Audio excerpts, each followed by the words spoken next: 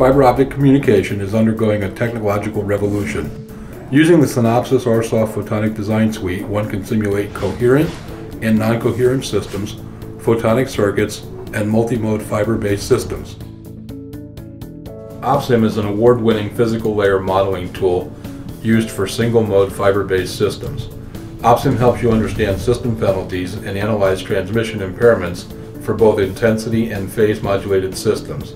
You can quickly implement a new design with a rich library of components pre-supplied application notes, and powerful visualization tools.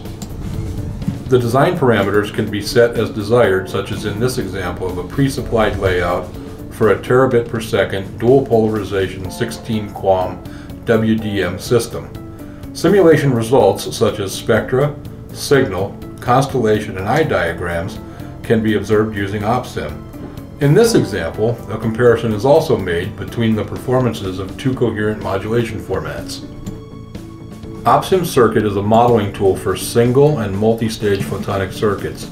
It comes with a rich library of circuit elements and Foundry PDKs. OptSim Circuit can be used as a standalone product or as an add-on to OptSim. OpSim Circuit takes into account full bidirectional interactions of optical and electrical signals such as reflections, resonances, and multipath interference from photonic components. When used together, OptSim Circuit and OptSim offer a powerful platform to test the performance of photonic circuits in a system.